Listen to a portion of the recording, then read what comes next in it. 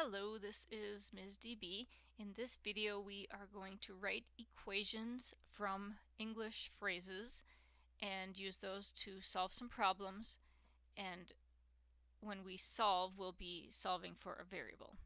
So in these problems if it says a number it doesn't say what variable to use. You can pick any variable you want when it says a number. You can use n, you can use x, you can use any variable you want some things to review, and this is in your book, but sum means to add. Uh, difference means to subtract. There's some other phrases that mean these things as well, but these are kind of the big ones.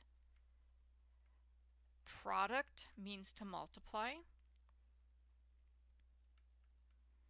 And quotient is divide. I don't know if there's any that use a quotient for a phrase.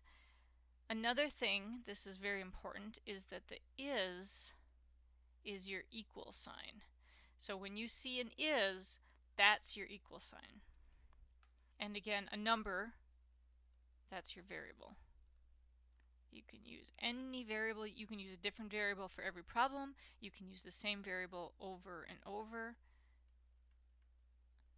but that a number is when you're going to replace that phrase with a variable. So really you're just translating. You're just figuring out from words how you would write that with numbers and symbols. These are equations, which means there will be an equal sign. And for this, you're supposed to choose three of this first section, which goes up to number 10. Choose three of them to also solve and show your work when you solve. Then there's a couple word problems where we'll write an equation and solve. And then in this section here it says choose any two problems from below to write equations for or use formulas for and then solve. So your equations must have a variable in them and show all work. So these aren't numbered because each dot, each bullet here is a new problem that you can pick to solve. So you pick a couple of them, solve them by writing an equation with a variable, and then showing your work. Let's write a couple of these as equations. Let's do number two. It says 5 more than 3 times a number is 20. So more than, that's plus. So, so far I have 5 plus 3 times a number. I'm going to use x for my number, so this part right here will be x times, obviously, is multiplication. You can write multiplication by just putting the what I'm multiplying by, 3, next to my variable. Is 20. So that's your equal sign is is, and 20 of course is 20. You could put parentheses around the 3x, or you could write the multiplication as 3 times x if you wanted to. You could put a dot between the 3 and the x to show multiplication. So there's several ways to write this correctly. And you wouldn't get marked wrong if you did it a different way than what I have. And then after you write the equation, then you have to solve it. I'm trying to get a little more space here without messing up my equation. See if that'll work. Almost. So then I am going to write this just a little bit simpler because otherwise it's going to be a little hard to solve. So you find this is the same as the solving equations problems we did at the beginning of this week. Identify your variable, it's x. Think about what's happening to your variable. In this case it's being multiplied by 3 and 5 is being added to it. So we need to start undoing the operations by using inverse operations. So the first thing that I, I would undo would be the addition. So I subtract 5 from both sides. When you subtract 5 from both sides, you'd be left with, on the left side, just the 3x. Got your equal sign there, and then 20 minus 5 is 15. And then we would just finish this up by dividing both sides by 3 to get x equals 5. So that's part of number 2. You only have to solve three of them. You don't have to solve them all. For the, for the other ones, the other seven problems, you're just going to write the equation. You don't have to solve for every one of them. Um, let's look at number five because less than number four and five both have the phrase less than. Less than, like if it's 7 less than x, means x minus 7. You have to flip the order when it's less than. So in number 5, 8 less than the product of 3 and a number, we need to figure out this part first. The product of 3 and a number, product means multiply, so that's 3, I'll use n this time. And 8 less than that means I have to put the 3n first and then the minus 8. And then the rest of the equation says is 16. Is is the equal sign.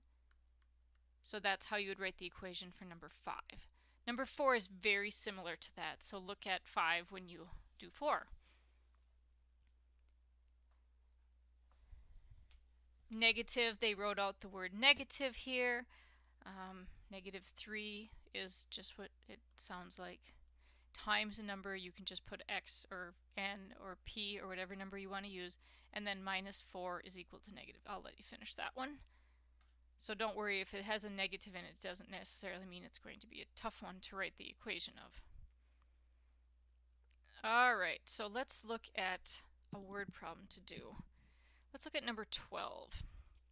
Number 12 says that a tuxedo rental service charges $150 flat fee for a suit plus $50 for each additional day. So if I want to use D for day, I have to multiply 50 times that variable and add that to our flat fee in order to get our total cost. So write an equation to model the total cost of renting a tuxedo for X number of days. Oh, so I'm supposed to write this as X number of days.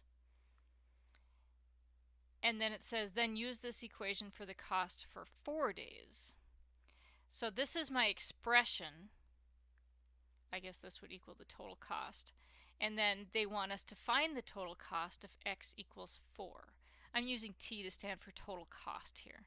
So then I would take 150 plus 50 times 4 days. This is very expensive, by the way. It'd probably be cheaper to buy a suit at this point.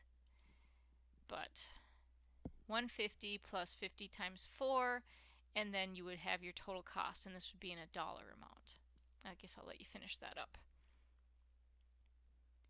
And then in the next section, remember you only have to choose two of them to write an equation or a formula and then solve. And your equations must have variables in them. So don't just put a bunch of numbers together and then say what the answer is. Figure out what the variable is. Um, how about about this first one here about George is building a rectangular fenced-in dog run. A dog run is just a fenced-in area where the dog can run.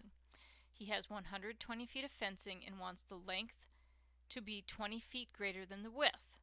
If you use all the fencing, find the width, find the length and the width of the dog run. This is one where a formula will come in handy. This is a rectangle and we're really we're given 120 feet of fencing so we have that's the perimeter. We know that the perimeter needs to be 120 feet. We also know a formula for perimeter. If you have a rectangle, the formula is you could do length plus length plus w plus w, but a lot of people use 2 times L plus 2 times W. Now we can replace P with 120. And we also have some more information here. He wants the length to be 20 feet greater than the width. Let's write that. Length, let's write it in symbols. To be equal to 20 feet greater than, that means plus, the width. So when I see an L, I'm going to replace it with this expression, 20 plus W. So the perimeter of the whole thing has to be 120. I replaced P with 120. 2 times L, but L is 20 plus W, and then plus 2W. So I used a formula in this one and an equation, L equals 20 plus W, that I got from the, the reading of the problem. And now we have to simplify this so that we can find out what the width is. This will give us the width. And then once you find the width, you can come back here and say, oh, well, if the width is 10, then 20 plus 10 would be 30. Or if the width is 20, then 20 plus 20 is, is 40. So that's how you would find both of the variables using this equation here. So this is a good lesson to practice solving equations as well as writing equations in order to solve word problems. Let me know if you get stuck and I'll help you out and have a wonderful day.